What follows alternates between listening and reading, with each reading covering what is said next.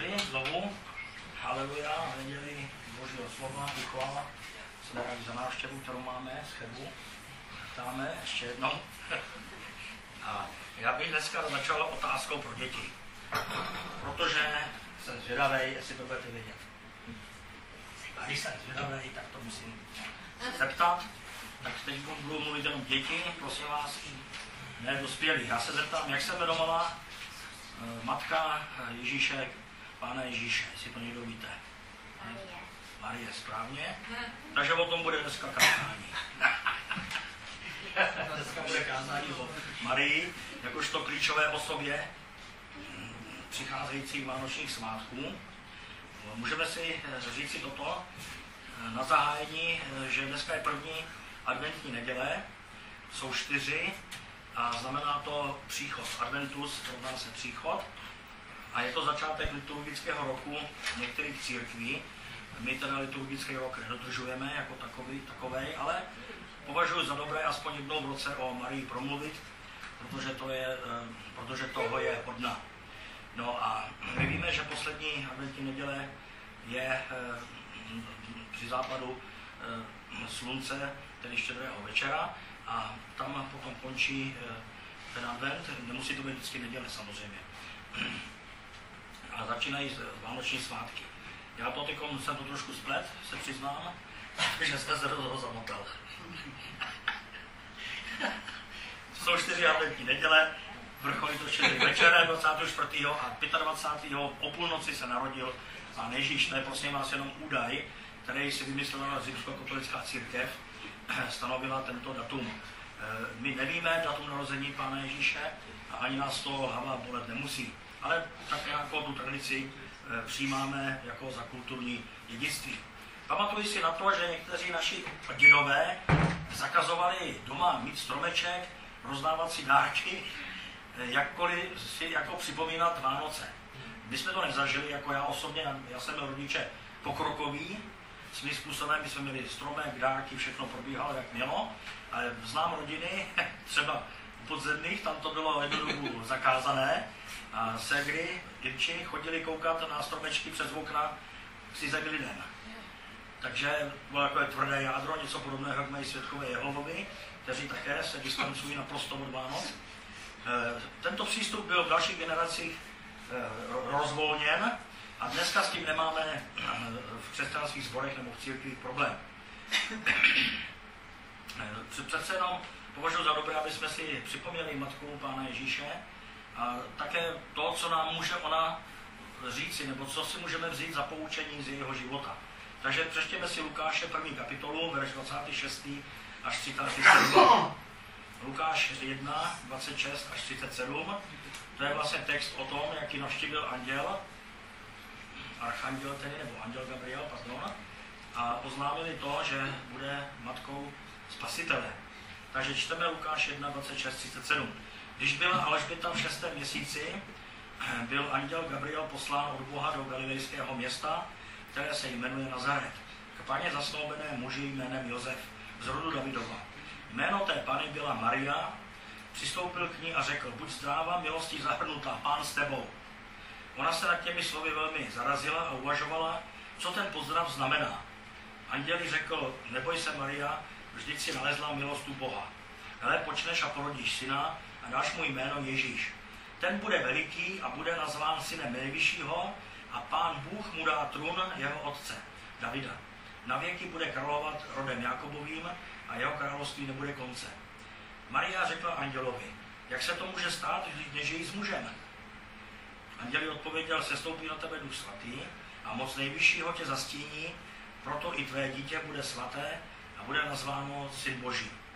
Hle, i tvá příbuzná Alžběta, to byla, myslím, její, její teta, počala ve své stáří syna a již je v šestém měsíci, ať se o ní říkalo, že je neplodná. Neboť u Boha není nic nemožného. Maria řekla, hle, jsem služebnice, páně, staň se mi podle tvého slova. Anděl pak od ní odešel. No, takže to je příběh, který se vztahuje k adventu. Já si pamatuju, že v 8. třídě jsme měli předmět s názvem sexuální výchova. Rozumíte? My jsme všechno už věděli teda od, od kluků, už od šestých třídňák asi to proběhlo. na nějaké krajský, v Chodově u Karlových varů, v základní škole byl zástupce ředitel krajský, nám vysvětloval prostě tyhle ty věci. A moje víra těžce zapochybovala, vidíš, Ježíš se nemohl narodit z panej. No, asi teda ne, tak jsem byl trošku úzkých pár týdnů, ale pak jsem se z toho dostal a začal jsem věřit Božímu slovu. Prostě Bůh je stvořitel a jestliže je stvořitel, tak může vzbudit život i v paně. Ano? Takže to nebudeme dál řešit.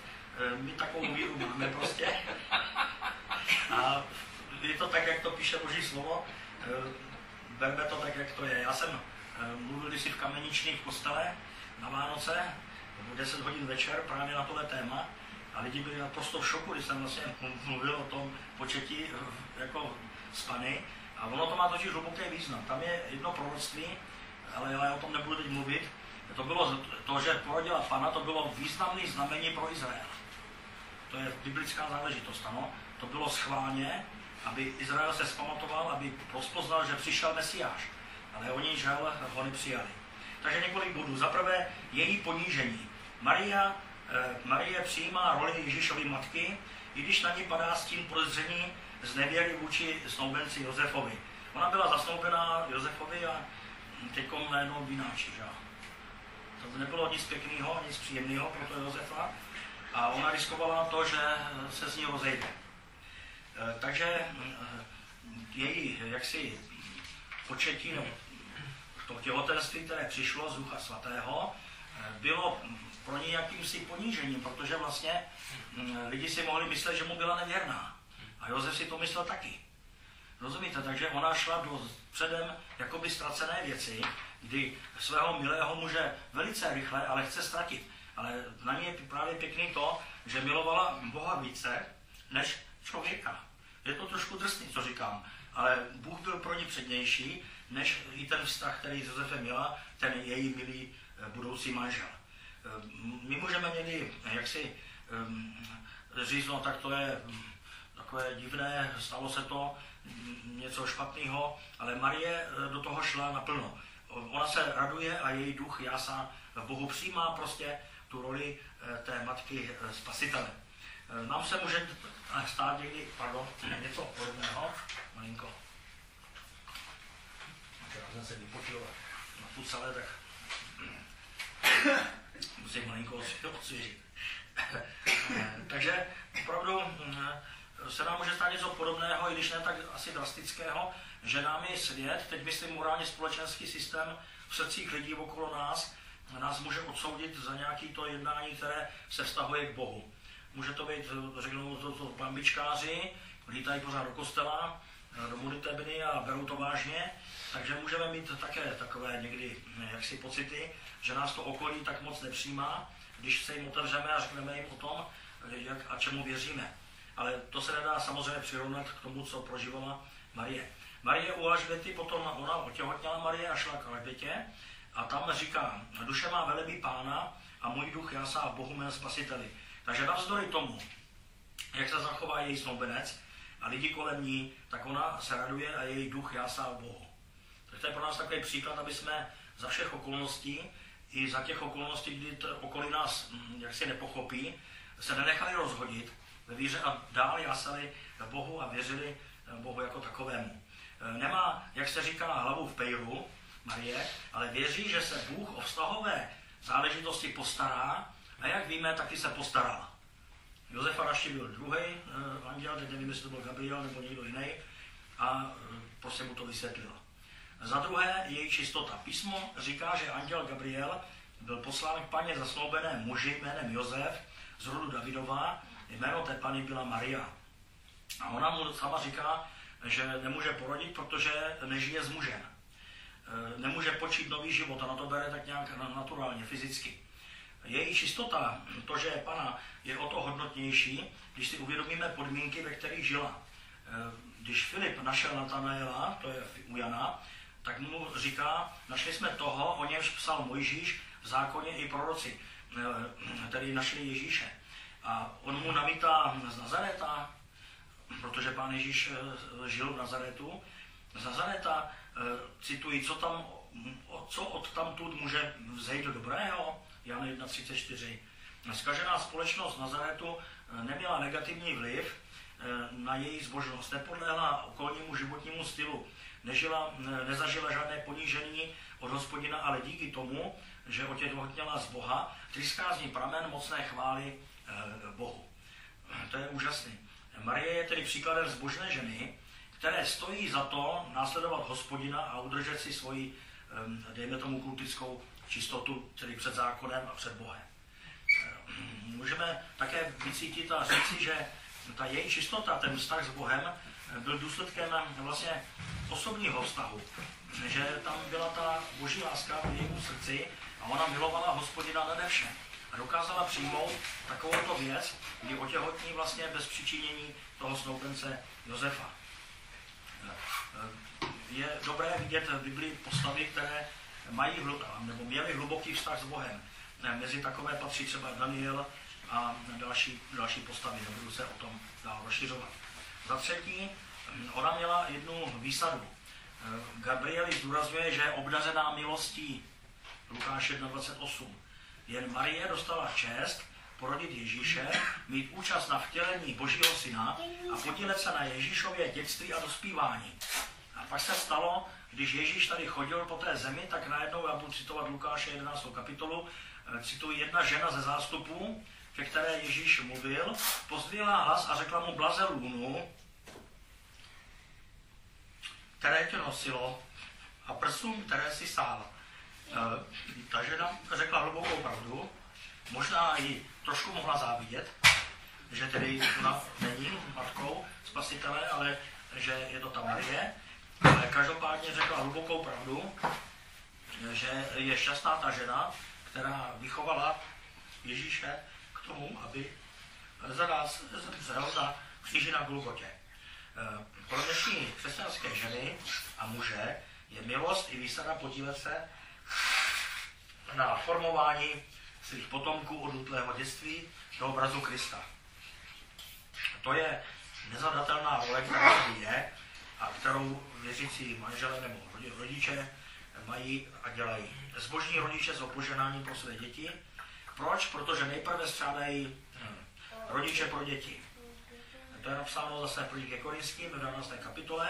Tam budu citovat od poštola Pavla. Děti přece nestřádají pro rodiče, nejbrž rodiče pro děti.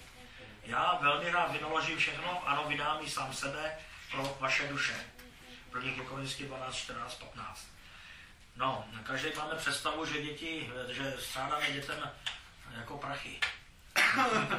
Peníze, sady Tak to si myslím, že jako není tady v tom textu vůbec zmíněno. Tady v tom textu to je myšleno, tady je myšleno trošku něco jiného.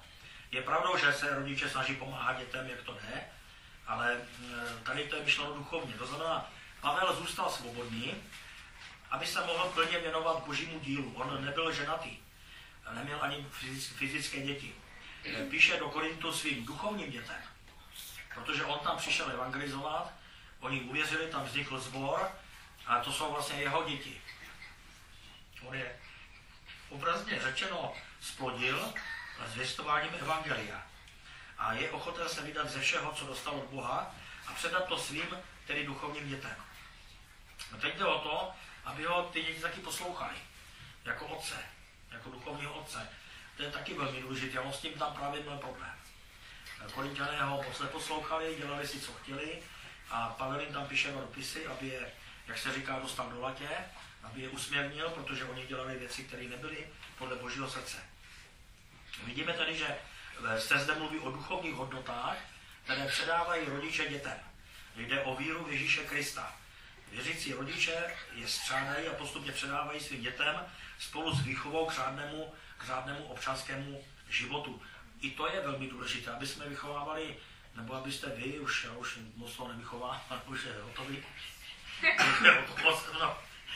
Ale vy mladí, co máte děti malé, tak je potřeba je vychovávat i k tomu občanskému životu aby se uměli chovat takzvaně. Ale to, co mají věřící rodiče navíc, je ta víra, kterou předávají učí ty děti následovat Pána Ježíše, jako i oni je e, následují. A ta námaha lásky se vyplácí. Ne, nejen náš prezident, volá po návratu ke křesťanským kořenům. Nejhorší je, že už jsou dávno zpřetrhané a tak bývalá křesťanská Evropa ztratila své kořeny. Zřekla se jich i v, pre, v preambuli, to je vlastně úvodní článek ke smlouvě o ústavě pro Evropu z roku 2004. Cituji její první odstavec. Inspirující se, inspirující se evropským kulturním, náboženským a humanistickým odkazem, ze kterého zešly všeobecné hodnoty nedotknutelných a nezadatelných práv lidských bytostí, demokracie, rovnosti a svobody a právního státu. To byl citát. O křesťanských hodnotách ani slovo. Tam se mluví o náboženství, což je trošku něco jiného. Pod si můžeme představit jakékoliv náboženství, hinduismus, buddhismus, e, islám a podobně. O křesťanských hodnotách není zmínka. Poláci, pamatují se, se zlobili, Polsko, a chtěli, aby tam bylo výslovně řečeno, že stojí Evropa na křesťanských hodnotách, ale toto místo se nepoda, tento text se nepodařil prosadit a vlastně je tam místo toho, že se inspirujeme náboženským odkazem.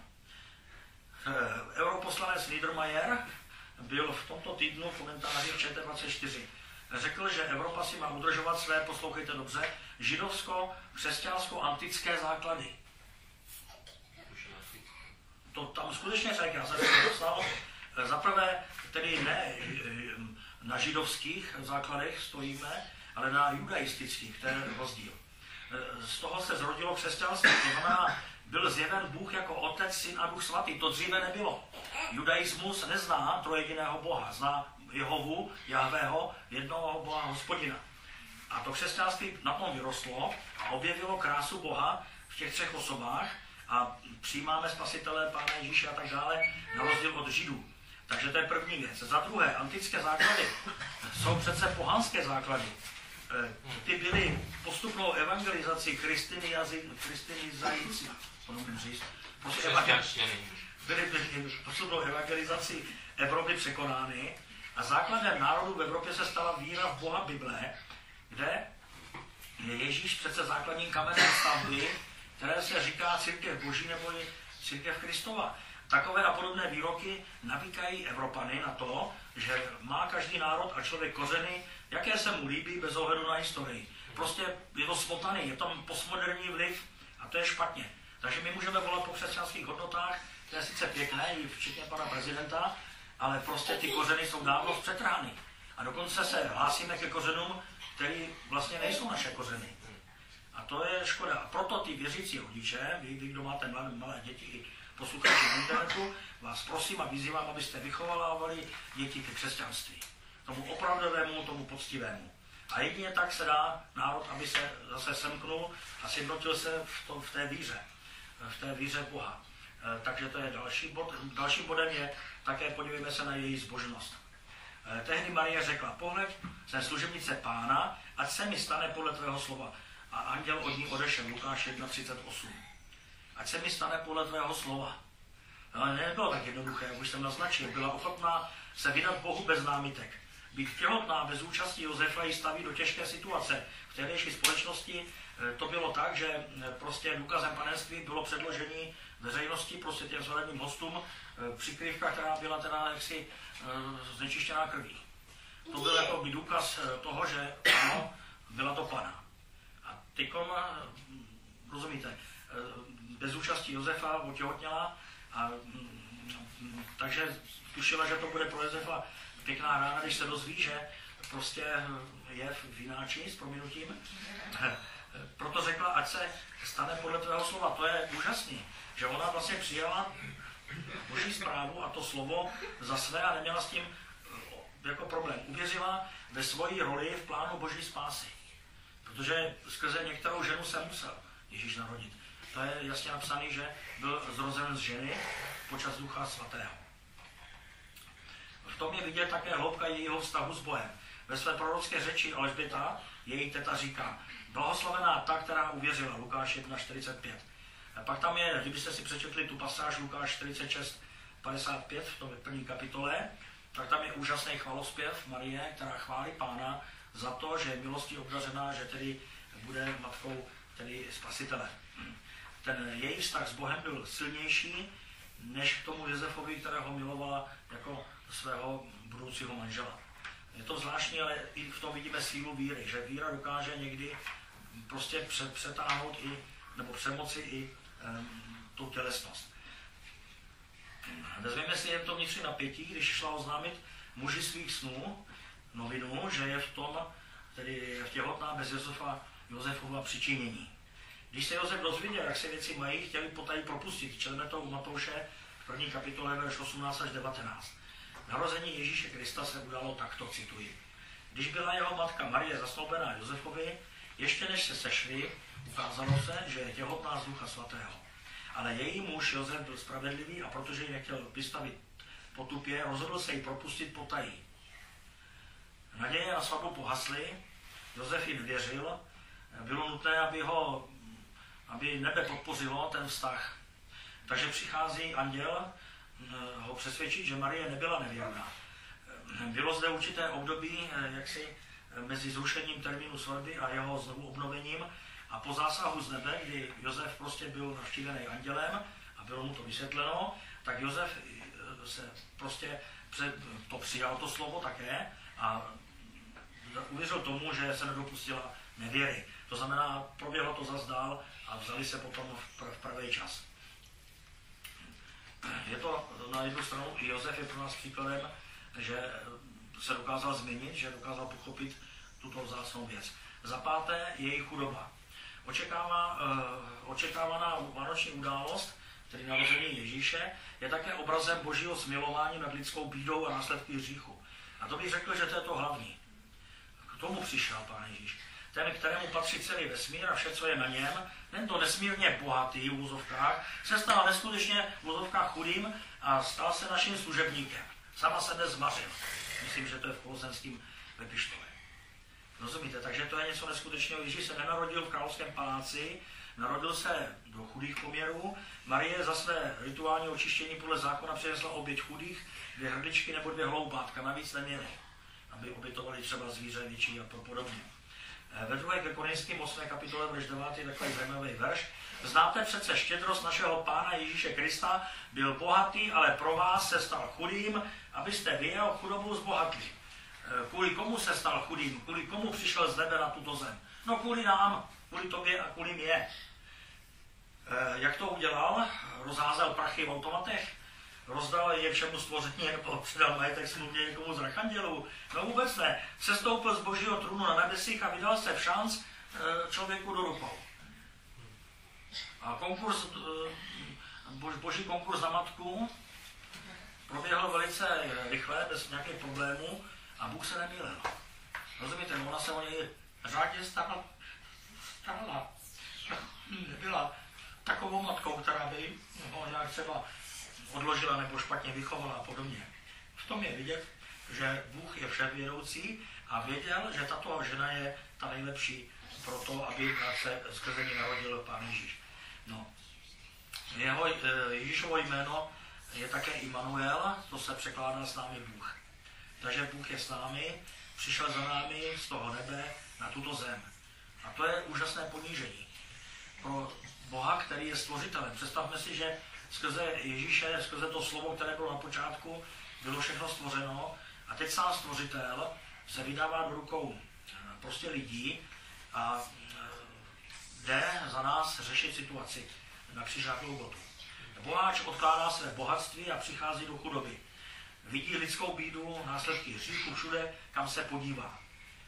Neschopnost lidí dostat se z marazmu na všechny způsoby to vidí na vlastní oči sami Bůh, rozumíte, přišel na zem, ten Bůh, ten úžasný, ten velký, ten mocný, takový ten nedostupný, toho se pak dotýkali.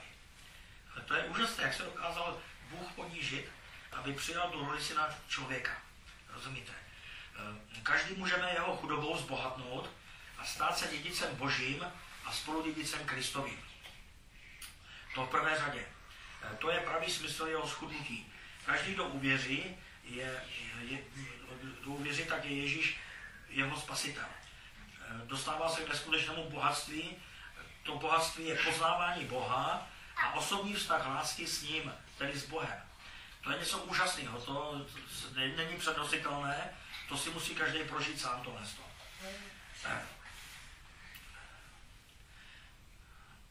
To je právě ten smysl slov textu toho verše Znáte přece milost našeho Pána Ježíše Krista. To je milost, ona se nám zjevila v Pánu Ježíši Kristu, že můžeme vlastně navázat kontakt s Bohem jako takovým. Eh, zcela jednoduše, zjednodušeně řečeno, eh, Ježíš je pro nás nezaslouženým darem. My jsme si ho nezasloužili, tu jeho lásku, ale on nás miluje přesto, že člověk se k němu obrací zády. Já jsem jednou, my jsme chodili na psychiatrii do Žamberka svědčit do Bohu. Bylo to povolené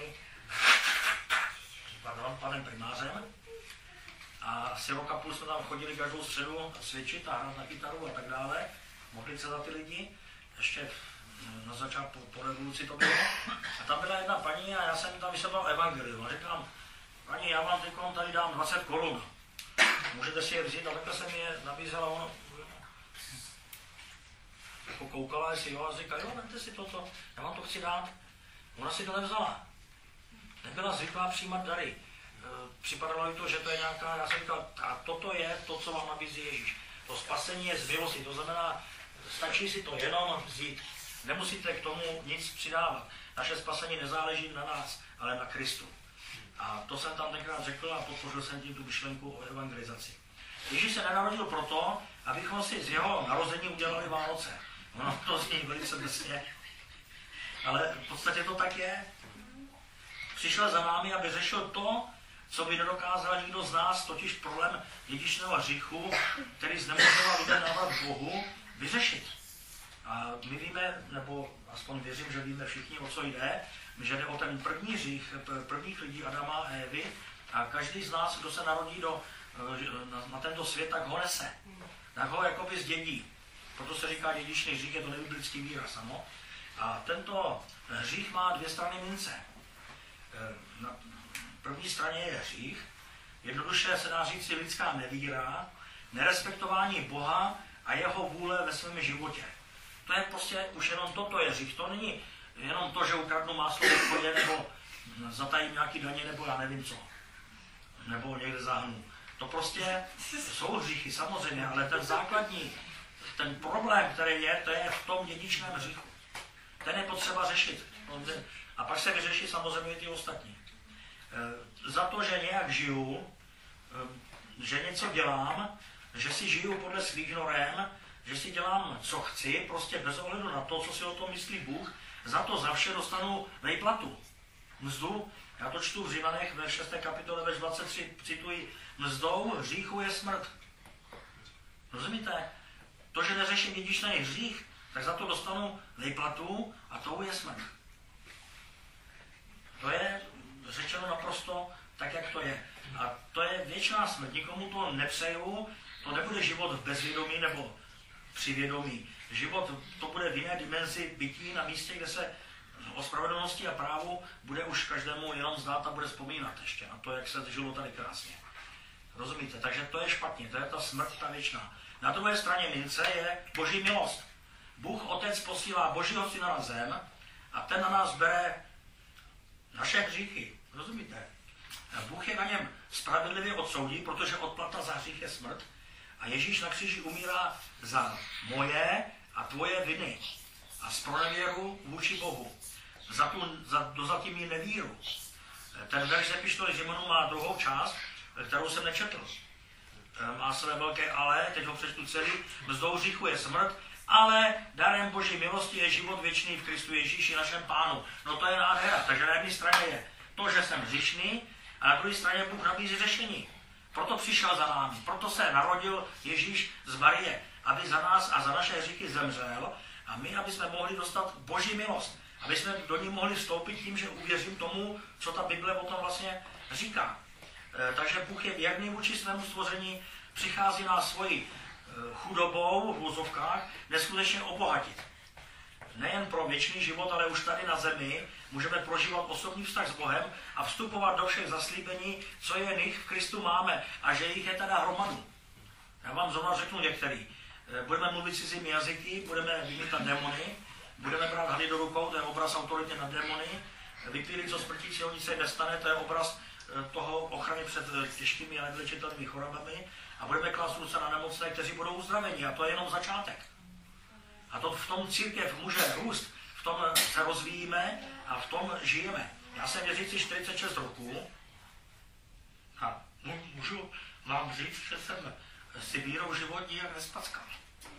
Nijak jsem si ho nespackal, naopak. E, neprožil jsem ho v žádné nějaké náboženské nudě. I když jsme byli ještě původně zboru, tak to nebyla taky žádná nuda. My jsme byli pokrokový sbor vždycky a dneska se o tom samozřejmě už ani nemluví, protože žijeme v boží moci.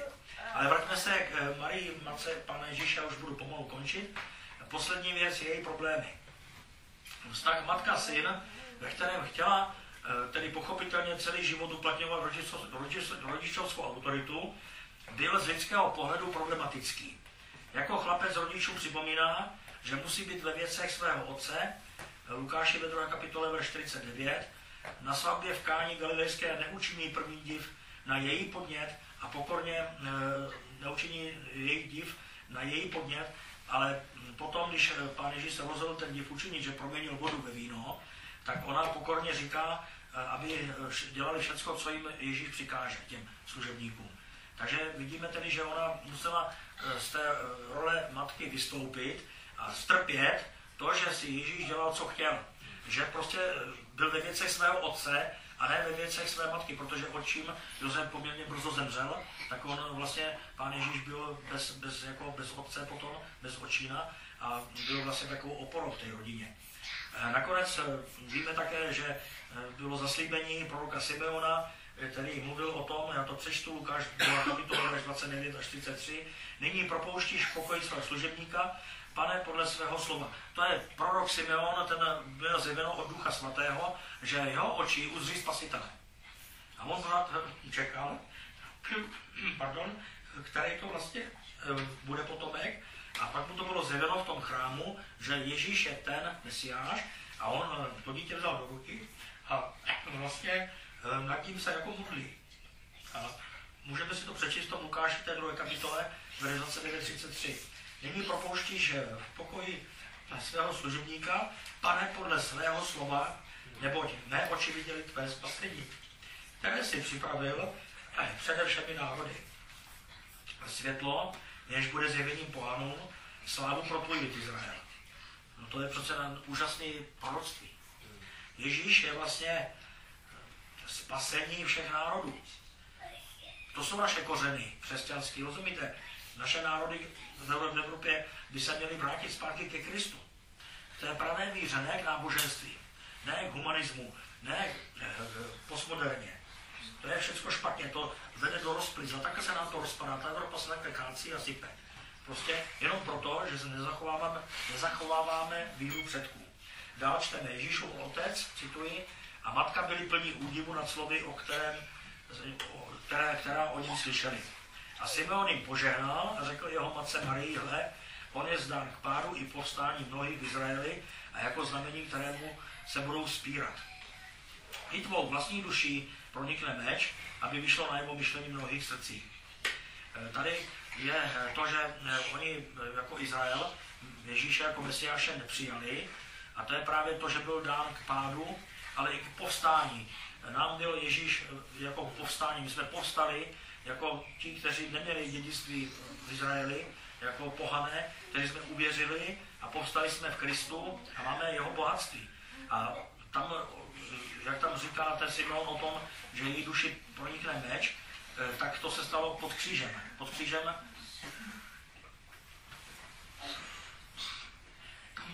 prostě ta matka byla, byl tam učeník Jan, to byl bratranec pána Ježíše, a ona musela se dívat na to, jak její syn nespravedlivě trpí. A v té chvíli tenkrát pronikl její duší meč. To znamená, prožila si to utrpení, které jí bylo vlastně jako prorokováno. A jak víme, nakonec přece jenom se stalo to, že ona uvěřila a byla normální křesťankou, tak jako ostatních 120 lidí, kteří čekali na seslání Ducha Svatého. Tak, vybrečelo. Budu končit. Věřím, že tohle je výzva letošních Vánoc pro ty, kdo ještě s vírou, s vírou váhají. Narození spasitele je myšleno doslova. Nejde o nějakou pohádku, romantický příběh o narození v chlévě, není to o svíčkách a o stromečku, ale je to výzva pro každého člověka, aby přijal spasitele Pána Ježíše. Poselstvím letošních Vánoc může být pro nás také vnitřní rozhodnutí žít v boží slávě. To se týká všech lidí. Aby jsme začali a žili v boží slávě. Ukazovat svoji poslušností Bohu na to, že je zde někdo, kdo je nesrovnatelně významnější než naše maličkost a než my všichni, kteří jsme zde. Někdo nesmírně významný, někdo bez jehož si neumí představit já osobně svůj život. Kdo z nás je ochoten vzdát se eh, svých postojů ve prospěch boží slávy? Eh, vzdejme se někdy svých vlastních postojů, aby se mohla boží sláva zjevit. A to je důležité. Nejde o to dělat nějaké fanatické věci, ztratit rozum pro Krista s proměnutím. Ale je potřeba mu dát své srdce, sebe sama a nechat se jim vést. Proměňovat do obrazu jeho, do obrazu Božího, ke kterému jsme byli co? Ke kterému jsme byli stvořeni. Podíváme se na sebe, tak já mám pořád rezervy. Marie a její životní příběh je pro nás příkladem, že to jde. A poštol Pavel nás efeským první kapitole nabádá, abychom byli chvále slávy jeho. Ne k ostudě jeho slávy, ale ke chvále slávy jeho. Buď, buďme čím dál tím více pro své okolí výzvou, hledání a pak následování Krista pro naše blížní. Aby také zatoužili po milující náruči našeho nebeského Otce. Amen. Pane, pane, děkujeme ti za to, že ty jsi za nás zemřel na Golgotě, že jsi vyřešil problém dědičného hříchu a že jsme mohli tomu uvěřit. Eh, to je tak jednoduchá zvěst, že tomu uvěří šestileté, možná pětileté dítě. Není v tom žádná lest. Je to jednoduchá zvěst o tom, že ty jsi za nás byl učiněn hříchem, ty jsi vzal naše hříchy na sebe a tam na kříži na Golgotě je Bůh na tobě spravedlivě soudil a odsoudil. A ty jsi zemřel, odplata za hřích je smrt, to je naprosto jasné. To bylo naplněno, ale na druhé straně se nám dostalo obrovské milosti, že vlastně ty jsi byl v boží moci třetího dne, pane, vzkříšen z mrtvých. Proč? No protože smrt na tebe neměla právo, protože ty jsi nezřešil. Ty jsi zemřel za jiné, za nás. A ti jsi zaplatil. A Bohu to stačí. Bohu stačila tato oběť k tomu, aby jsme my mohli dostat milost k životu věčnému. Taky za to děkujeme. A i o těchto letošních Vánocích si chceme připomínat, že tím narozením Pane Ježíši to neskončilo, naopak to začalo, začalo něco krásného, něco nádherného, co je nabízeno každému člověku v každé vteřině jeho života, dokud je zde ještě. A tak věříme, že Pane, ty nás budeš posilovat a že nám budeš ukazovat tu životní cestu, aby jsme se správně rozhodli, aby jsme se rozhodli pro tebe a rozhodli se žít ke tvé slávě, Pane. Amen. Amen.